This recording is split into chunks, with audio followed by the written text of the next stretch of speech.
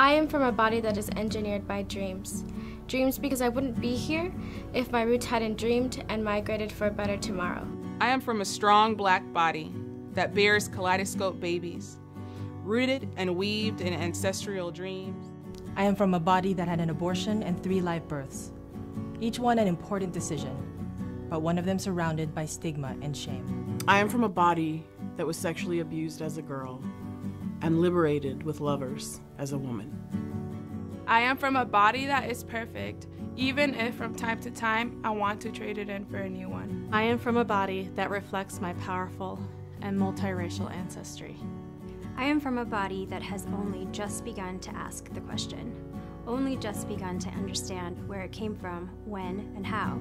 I'm from a body with hypnotic hazel eyes that both say I've had enough and I'm beautiful.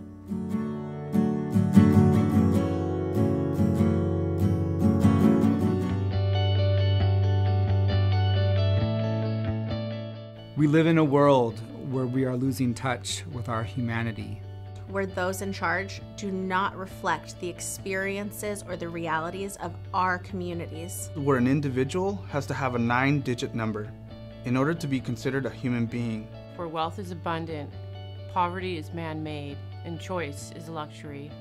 Where abortion is a right only a name for too many communities because of funding bans and policy barriers. Where preconception care should be valued as much as prenatal care. Where not all people are able to live, love, and be as they are.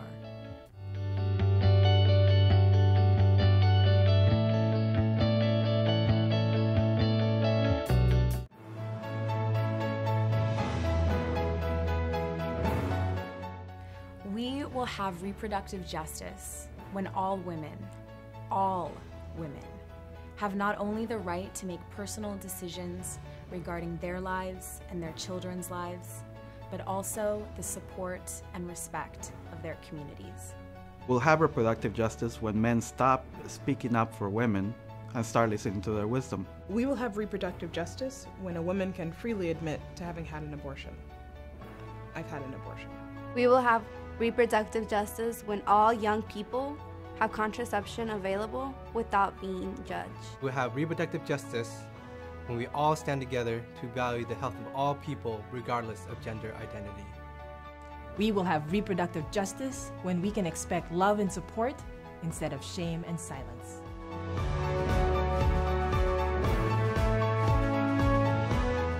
Twenty-five.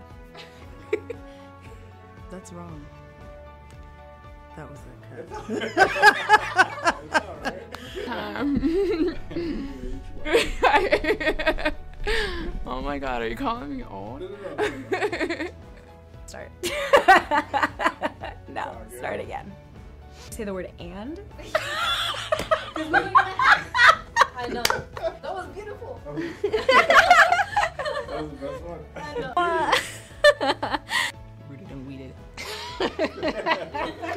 okay, Louis.